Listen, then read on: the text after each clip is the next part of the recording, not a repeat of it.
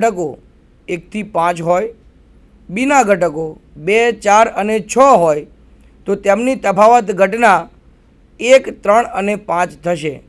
અહીં આગળ એ બાબતને આપણે સ્પષ્ટ કરીએ કે એની અંદર પણ બે અને ચાર ઘટકો આવેલા છે અને બીની અંદર પણ બે અને ચાર ઘટકો આવેલા છે.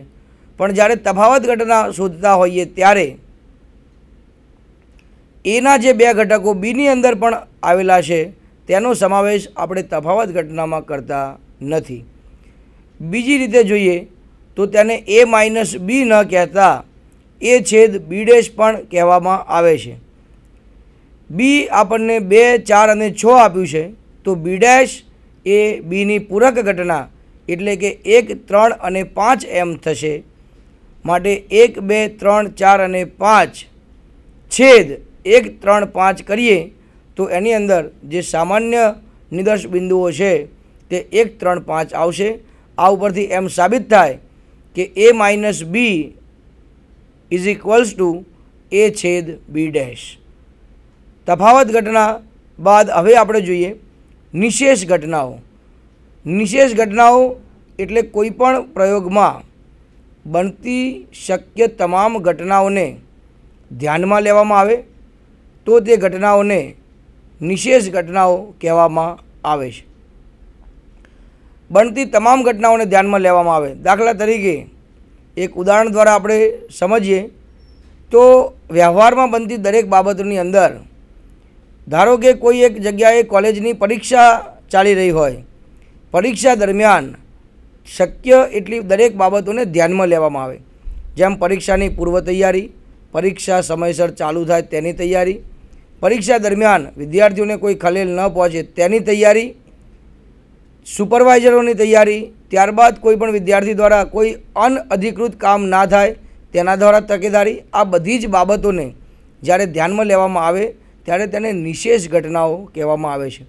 નિશેષ ઘટનાઓને બીજા સ્વરૂપે આપણે એમ પણ સમજી શકીએ કે શક્ય તેટલા બધા જ પરિણામ પરિણામોનો ગણ એટલે કે નિદર્શ અવકાશની અંદર આવતા તમામ નિદર્શ બિંદુઓને પણ નિશેષ ઘટનાઓના બિંદુઓ આપણે તરીકે સ્વીકારી શકીએ છીએ. નિશેષ ઘટના એટલે નિદર્શ અવકાશમાં સમાયેલા તમામ નિદર્શ બિંદુઓ. જો એક પાસો ઉછાળવામાં આવે, તો તેના ઉપર એક, બે, ત્રણ, ચાર, પાંચ અને છ નિશેષ ઘટનાઓ છે. મેં કહ્યું તે પ્રમાણે કે નિદર્શ અવકાશના જેટલા પણ શક્ય નિદર્શ બિંદુઓ હોય તે દરેક નિદર્શ બિંદુઓ મળવા માટેની જેટલી ઘટના રચાય, તેટલી ઘટનાઓને નિશેષ ઘટનાઓ કહી શકાય. જ્યારે આપણે પાસો ઉછાળીએ અને એક મળે, બે મળે, અથવા ત્રણ મળે કે છ મળે, આ બધી જ ઘટનાઓ પરસ્પર એ નિશેષ ઘટનાઓ છે કે જેની અંદર દરેક ઘટના બનવાની બાબતને ધ્યાનમાં લેવામાં આવે છે. નિશેષ ઘટના બાદ આપણે જોઈએ તો પરસ્પર નિવારક ઘટનાઓ. વ્યાખ્યાના આધારે પરસ્પર નિવારક ઘટના જો કોઈ યદચ્છ પ્રયોગમાં કોઈ પણ એક ઘટના બનવાથી બાકીની તમામ ઘટનાઓ બની શકતી ન હોય, તે ઘટનાઓને પરસ્પર નિવારક ઘટના કહે છે. એટલે કે એક ઘટના બનવાની બીજી ઘટના ઉપર કોઈ અસર ન થતી હોય. તેને આપણે પરસ્પર નિવારક ઘટનાઓ કહેતા હોઈએ છીએ.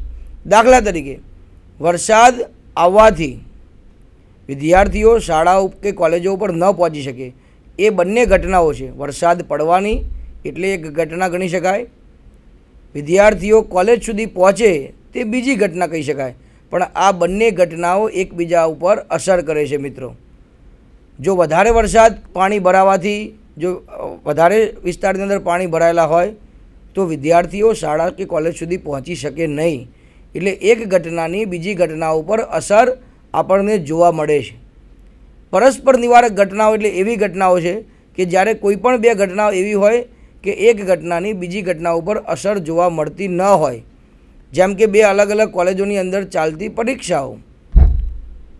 એ જ પ્રકારે વિદ્યાર્થીઓ દ્વારા કરવામાં આવતા અલગ અલગ સાંસ્કૃતિક કાર્યક્રમો અને કોલેજમાં લેવાતી પરીક્ષાઓ. આ બંને ઘટનાઓ એ પરસ્પર નિવારક ઘટનાઓ છે. આ બંને ઘટનાઓનો કોઈ પણ ઘટના સાથે એકબીજા પ્રત્યે કોઈ પણ અસરકારકતા જોવા મળતી નથી. તો પરસ્પર નિવારક ઘટના સમજવું ખૂબ જ જરૂરી છે, કારણ કે સંભાવનાની વ્યાખ્યાની અંદર આ બધા જ અલગ અલગ ઘટનાઓનો આપણને સુસ્પષ્ટ ખ્યાલ હોવો તે ખૂબ જ આવશ્યક છે. પરસ્પર નિવારક ઘટનાઓ, જો એ અને બી પરસ્પર નિવારક ઘટના હોય તો એ છેદ બી હંમેશા ખાલીગણ થશે તેને સાંકેતિક સ્વરૂપે એ છેદ બી બરાબર ખાલીગણ એટલે કે ફાઈ વડે આપણે દર્શાવી શકાય. સિક્કો ઉછાળવામાં આવે તો છાપની પ્રાપ્તિ અને કાંટાની પ્રાપ્તિ પરસ્પર નિવારક ઘટના છે. કારણ કે એક વખત સિક્કો ઉછાળતા આપણને છાપ મળે અને બીજી વખત આપણે સિક્કો ઉછાળીએ અને કદાચ આપણને કાંટો મળે. તો બંને ઘટનાઓ બને છે. પણ છાપ મળવા પછી તરત કાંટો મળશે એવી કોઈ જ અસર તેના ઉપર વર્તાતી નથી. માટે આ બંને ઘટનાઓ એ પરસ્પર નિવારક ઘટનાઓ છે તેવું આપણે કહી શકીએ. સમસંભાવી ઘટનાઓ. કોઈ પણ યદચ પ્રયોગમાં જો કોઈ એક ઘટનાની પ્રાપ્તિની તક અન્ય ઘટનાઓની પ્રાપ્તિની તક કરતાં વધુ કે ઓછી ન હોય, તો તે ઘટનાઓને સમસંભાવી ઘટના કહેવામાં આવે છે. ખૂબ જ યોગ્ય સમસંભાવી ઘટના કોઈપણ યદચ્છ પ્રયોગમાં ફરીથી સમજીએ, જો કોઈ એક ઘટનાની પ્રાપ્તિની તક અન્ય ઘટનાઓની પ્રાપ્તિની તક કરતાં વધુ કે ઓછી ન હોય, તો તે ઘટનાઓને સમસંભાવી ઘટના કહેવામાં આવે છે. દાખલા તરીકે એક ઉદાહરણ દ્વારા એને સમજાવીએ તો સમગ્ર ભારત વર્ષની અંદર જેટલા પણ શિક્ષણ જગત સાથે સંકળાયેલા શિક્ષકો, અધ્યાપકો પોતાનો કાર્યભાર કરી રહ્યા હોય, તે લોકો હંમેશા વિદ્યાર્થીઓની જવાબવહીનું મૂલ્યાંકન કરતી વખતે ક્યારે પણ કોઈપણ પ્રકારના પૂર્વગ્રહને ધ્યાનમાં લેતા નથી. કોઈ વિદ્યાર્થી ખૂબ સારો હોય, કોઈ વિદ્યાર્થી કદાચ વ્યવહારમાં થોડો ઉતરતો હોય, કોઈ વિદ્યાર્થી ભણવામાં થોડો નબળો હોય પણ જ્યારે જવાબ વહીનું મૂલ્યાંકન કરવામાં આવે, ત્યારે આપણે તેની અગાઉની જે કંઈ પણ છાપ એ પોતાના માનસપટ ઉપર હોય, તેનો ઉપયોગ એના મૂલ્યાંકન માટે કરતા નથી. એટલે જે પ્રકારે વ્યાખ્યાની આપણે જે વ્યાખ્યા આપી છે સમસંભાવી તે પ્રકારે જ એની, એનો મતલબ થાય છે કે દરેક વિદ્યાર્થી પ્રત્યે એક સરખો ભાવ એ સ્વાભાવિક રીતે દરેક શિક્ષકો દ્વારા રાખવામાં આવતો હોય. માટે એ વિદ્યાર્થીનું મૂલ્યાંકન ચોક્કસ અને તટસ્થ એમ થતું હોય છે. તે જ રીતે જ્યારે સમસંભાવી ઘટનાની આપણે વાત કરતા હોઈએ ત્યારે કે કોઈ એક કાર્ય માટે જ્યારે આપણે ક્લાસમાંથી કોઈ વિદ્યાર્થીઓની નિમણૂક કરવાની હોય, ત્યારે આપણે ક્લાસની અંદર કેટલા વિદ્યાર્થીઓ, એ સીઆર તરીકે છે, કેટલા વિદ્યાર્થીઓને કોલેજ દ્વારા કોઈ હોદ્દો આપવામાં આવે છે, તે બાબતને ધ્યાન ઉપર ન લેતા દરેક વિદ્યાર્થીઓને એક સરખી તક જ્યારે આપણે આપતા હોઈએ, ત્યારે તે પ્રકારની બનતી ઘટનાઓને સમસંભાવી ઘટનાઓ કહેવામાં આવે છે. સિક્કાની વાત કરીએ મિત્રો, તો સિક્કાની અંદર પણ જ્યારે છાપ મળે અથવા કાંટો મળે, એ બંને ઘટનાઓ પરસ્પર સમસંભાવી ઘટનાઓ છે તેવું કહી શકાય. કારણ કે બંનેને મળવા માટેની એ બંને ઘટના ઉદ્ભવવા માટેની જે સંભાવના છે તે સમસંભાવી છે તેમ આપણે ચોક્કસપણે કહી શકીએ. ઉદાહરણ દ્વારા સમજીએ તો સમસંભાવી ઘટનાઓ સિક્કો ઉછાળવામાં આવે તો છાપ અને કાંટો એ બે સમસંભાવી ઘટનાઓ છે તેમ આપણે ચોક્કસ પ્રમાણે કહી શકીએ. તે જ રીતે પાસો ઉછાળવામાં આવે અને પાસો ઉછાળવાની બાબતની અંદર જ્યારે આપણને પાસા ઉપરના છ નંબરો અંકિત થાય, એક, બે, ત્રણ કે છ, આ નંબરો પણ એ સમસંભાવી ઘટનાના પ્રકાર છે. તે પણ આપણે ધ્યાને હોવું ખૂબ જરૂરી છે. આગળ જોઈએ તો સાનુકૂળ બનાવો. ખૂબ જ યોગ્ય બાબત અહીંયા સ્પષ્ટ કરીએ કે સાનુકૂળ બનાવો. વિદ્યાર્થી માટે સાનુકૂળ બનાવો એટલે આમ કહી શકાય કે પરીક્ષા ન લેવાય અને સારું પરિણામ મળે તેમના માટે સાનુકૂળ બનાવ બને એવું કહેવાય. એમ કોઈ પણ ઘટના જ્યારે થતી હોય ત્યારે અમુક બનાવ એવા હોય કે જે આપણા માટે અનુકૂળ હોય, જેને આપણે સાનુકૂળ પણ કહી શકીએ. અમુક બનાવ એવા હોય કે જેની અંદર આપણને થોડીક મુશ્કેલી હોય. એની આપણે આગળ ઉપર વાત કરીએ, તે પહેલાં સાનુકૂળ બનાવની વ્યાખ્યાનો આપણે ખ્યાલ મેળવી લઈએ. કોઈ પણ યદચ્છ પ્રયોગમાં ઘટના એની પ્રાપ્તિ માટેના અનુકૂળ નિદર્શ બિંદુઓને એના સાનુકૂળ બનાવો કહેવામાં આવે છે. કોઈ પણ યદચ્છ પ્રયોગમાં ઘટના એની પ્રાપ્તિ માટેના અનુકૂળ નિદર્શ બિંદુઓને એના સાનુકૂળ બનાવો કહેવામાં આવે છે. દાખલા તરીકે પત્તાની જોડમાંથી એક પત્તું લેવામાં આવે તો તે કાળીનું પત્તું હોય તે માટેના સાનુકૂળ બનાવો કેટલા? તો જવાબ આવશે તેર. કારણ કે પત્તાની જોડની અંદર મુખ્યત્વે ચાર પ્રકારના અલગ અલગ તેની અંદર એ પત્તા આવેલા હોય છે. જેમાંનો એક પ્રકાર છે કાળી, બીજો પ્રકાર છે ફુલ્લી. વ્યવહારમાં આપણે ત્રીજા પ્રકારને લાલ અને સ્વાભાવિક રીતે ચરકટ એમ કરીને diamond, spread, heart and club આ પ્રકારે એના મુખ્યત્વે ચાર પ્રકાર હોય છે. કુલ બાવન પત્તાની જોડ જેની અંદર તેર તેર પત્તાનું અલગ રીતે વિભાજન હોય છે. અમુક એ આંકડાકીય રીતે વિભાજિત કરેલા નંબરો છે. અમુકની અંદર આપણને ડ્રોઈંગ પિક્ચર પણ એ કાર્ડ્સની અંદર જોવા મળતા હોય છે. તો જ્યારે કાળીનું પત્તું મળે તેવી બાબતને આપણે વાત કરતા હોઈએ, તો કાળીનું પત્તું મળવા માટેના સાનુકૂળ બનાવો એ સમગ્ર બાવનમાંથી એ તેર છે. એ જ પ્રકારે કાળીની જગ્યાએ આપણે ચરકટની વાત કરીએ અથવા ડાયમંડની વાત કરીએ, તો તેની અંદર પણ સાનુકૂળ બનાવો થશે તેર. તો તે બાબતને પણ આપણે ધ્યાને લેવી જોઈએ. કે સાનુકૂળ બનાવો એટલે તમે જ્યારે કોઈ પણ કામ કરતા હોવ, એ કામ કરવાની અંદર થતી અનુકૂળતા અને એટલા અનુકૂળ નિદર્શ બિંદુઓ જેને આપણે સાનુકૂળ બનાવ તરીકે ઓળખીએ છીએ. અને ઘણી વખત એવું હોય કે આપણને જે કાર્ય અનુકૂળ ન હોય, થોડું પ્રતિકૂળ હોય અને તે કાર્ય આપણે કરવાનું થાય, જેની અંદર કદાચ આપણે એટલા સારા પરિણામો ન પણ મેળવી શકીએ, તેવું બનતું હોય. પણ હંમેશા જ્યારે આપણે જે બાબતમાં આપણે સાનુકૂળ હોય, અનુકૂળતા હોય તેવા બનાવોની જ્યારે ચર્ચા કરતા હોય, ત્યારે તેને સાનુકૂળ બનાવો કહેવામાં આવે છે. કોઈ પણ ઘટનાના સાપેક્ષે તેની વાત આપણે મૂકી શકાય. જેમ વરસાદ વધુ પડવું, એક ઘટના છે.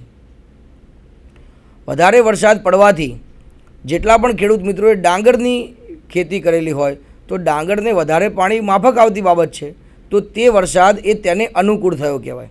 તો એ ક્યુસેક જેટલા ક્યુસેક પાણી જે તે વિસ્તારમાં પડ્યું હોય, એ વિસ્તારની અંદર તે વરસાદ એ ખેડૂતોલક્ષી અનુકૂળ બનાવ અથવા સાનુકૂળ બનાવ તરીકે બને એવું કહી શકાય.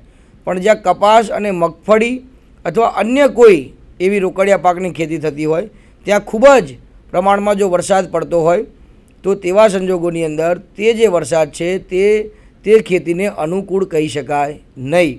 તે તેમના માટે નુકસાનકારક અથવા તો પ્રતિકૂળ બનાવ બન્યો તેવું આપણે ચોક્કસ પ્રમાણે કહી શકીએ. આગળ જોઈએ તો સાનુકૂળ બનાવોની આપણે એક પત્તાના માધ્યમથી વાત જોઈએ ઘણા બધા ઉદાહરણ દ્વારા પણ આપણે આ બધી વ્યાખ્યાઓને ફરીથી સુસ્પષ્ટ કરવી છે. નિરપેક્ષ ઘટનાઓ. નિરપેક્ષ ઘટના. કોઈ એક ઘટનાની પ્રાપ્તિ કે અપ્રાપ્તિ ઉપર આધાર ન રાખતી હોય તે ઘટનાઓને નિરપેક્ષ ઘટનાઓ કહેવામાં આવે છે. જ્યારે કોઈ એક ઘટના પ્રાપ્ત થાય અથવા કોઈ એક ઘટનાની આપણને પ્રાપ્તિ ન પણ થાય, તો એકબીજા ઉપર આધાર ન રાખતી હોય, તેવી ઘટનાઓને નિરપેક્ષ ઘટનાઓ કહી શકાય.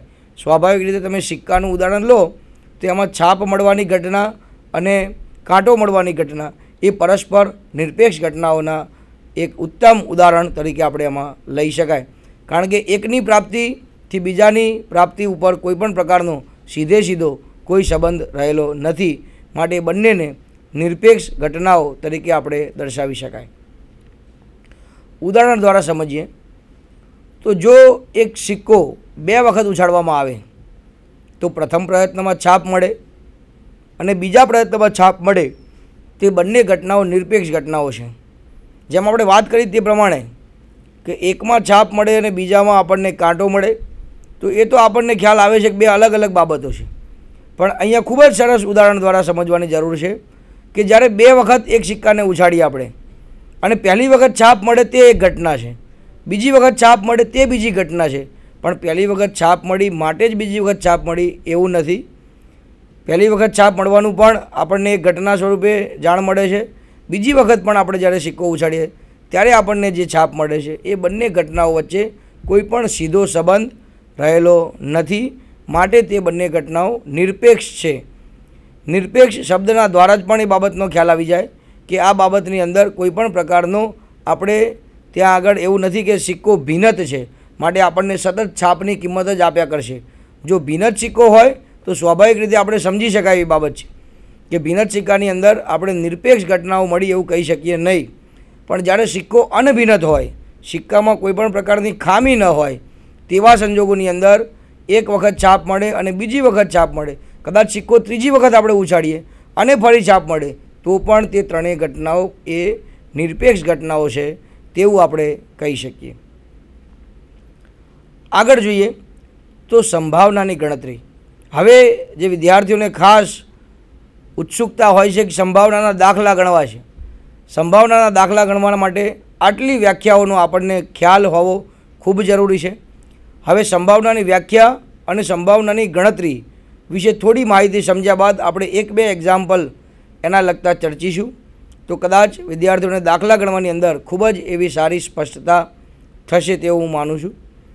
સંભાવનાની ગણતરી અથવા પૂર્વ સ્વીકૃત અથવા તો પ્રશિષ્ટ વ્યાખ્યા એની વ્યાખ્યા અથવા એની ગણતરી વિશે સમજવું હોય તો જો કોઈ ઘટના એ વડે આપણે દર્શાવતા હોય તો ઘટના એની સંભાવનાને પી ઓફ એ વડે દર્શાવવામાં આવે છે. આ પી એનો મતલબ એ થાય મિત્રો કે સંભાવના એટલે probability probability of event A એનો મતલબ એ થાય કે એ ઘટના થવા માટેની સંભાવના શોધવી. સંભાવનાની વ્યાખ્યા સમજીએ, ત્યારબાદ એના ઉદાહરણ દ્વારા આપણે આગળ જઈશું. જો કોઈ યદચ્છ પ્રયોગના સમસંભાવી, નિશેષ અને પરસ્પર નિવારક બનાવો એન હોય અને તેમાંના એમ બનાવો કોઈ એક ઘટના એને સાનુકૂળ હોય, તો ઘટના એ બનવાની સંભાવના ને ગુણોત્તર એમ છેદમાં એન વડે દર્શાવવામાં આવે છે. આ થઈ સંભાવને, સંભાવનાની ગણતરીની વ્યાખ્યા. જો કોઈ એક યદચ્છ પ્રયોગના સમસંભાવી, નિશેષ અને પરસ્પર નિવારક બનાવોની કુલ સંખ્યા એન હોય અને એન પૈકી એમ બનાવો એ ઘટના એ થવા માટેના સાનુકૂળ બનાવો હોય, તો ઘટના એ થવા માટેની અથવા ઘટના એ ઉદ્ભવે તે શોધવા માટેની સંભાવના એ એમ છેદમાં એન ગુણોત્તર દ્વારા આપણે મેળવી શકતા હોઈએ છીએ. આ થઈ સંભાવનાની એક વ્યાખ્યા કે જેને આપણે સંભાવના એ વડે દર્શાવી શકીએ છીએ. આ જ પ્રકારે ઘણી વખત એવું બને કે ઘટના બી ઉદ્ભવે છે. તો ઘટના બી ઉદ્ભવે તેના માટેની સંભાવના જો આપણે શોધવી હોય, તો તેને પી ઓફ બી વડે શોધી શકાય. એટલે કે ઘટના બી થવાની સંભાવના પ્રોબેબિલિટી ઓફ બી વડે આપણે શોધતા હોઈએ છીએ. જેમ કુલ બનાવો એન હોય, તે બનાવોની અંદર પણ જે પ્રકારે આપણે સમસંભાવી, નિશેષ, પરસ્પર નિવારક ઘટનાઓની વ્યાખ્યા વિશે જોયું છે, તે જ પ્રકારે તે એવા પ્રકારની ઘટના હોવી તે પ્રથમ અગ્રતા ધરાવે છે. અને ત્યારબાદ એવી ઘટનાઓની જ્યારે આપણે સંભાવના શોધવી હોય, ત્યારે આપણે આ સૂત્ર, એટલે કે સંભાવનાનું સૂત્ર કોઈપણ ઘટના માટે એમ છેદમાં એન એ રીતે શોધતા હોઈએ છીએ. વ્યવહારમાં એમ એટલે સાનુકૂળ બનાવોની સંખ્યા અને એન એટલે કુલ નિદર્શ અવકાશની સંખ્યા અથવા તો સમગ્ર નિદર્શ અવકાશના બિંદુઓની સંખ્યા. તે રીતે પણ આપણે તેને સ્પષ્ટ રીતે સમજી શકીએ છીએ. હવે બાબત એ થશે કે આપણે જ્યારે સંભાવનાની ગણતરી કરતા હોઈએ ત્યારે એની અંદર કેટલી આપણને કિંમતો મળી શકે તે જાણવું ખૂબ જરૂરી છે. હવામાન ખાતા દ્વારા કરવામાં આવતી આગાહી તે પણ એક પ્રકારની સંભાવના છે. પોલિટિકલી એટલે કે રાજકીય વિશ્લેષકો દ્વારા કરવામાં આવતા અલગ અલગ પ્રકારના ઓપિનિયન પોલ તે પણ એક પ્રકારની સંભાવના છે કે જે થવાની શક્યતાઓ વિશે વાત કરી રહી છે. આ જ પ્રકારે અલગ અલગ પ્રકારની જે વકી કરવામાં આવતી હોય, જે ધારણા કરવામાં આવતી હોય, ભવિષ્ય વિશેની માહિતી આપવામાં આવતી હોય, તે બધી જ બાબતો એ સંભાવના સાથે સંકળાયેલી છે તેમ કહી શકાય. જેમ આગામી સમયની અંદર બે હજાર વીસ સુધીમાં ભારત મહાસત્તા બનશે તે પણ એક સંભાવના છે. તે જ પ્રકારે આપણું યુવા ધન એ ખૂબ જ એમ દરેક ક્ષેત્રની અંદર વિકાસ કરશે. તેના માટે પણ જે આપણે આંકડાઓ નક્કી કરીએ છીએ, સુનિશ્ચિત કરીએ છીએ તે બધા જ આંકડાઓ એ સંભાવનાના આધારે નક્કી થતા આંકડાઓ હોય છે.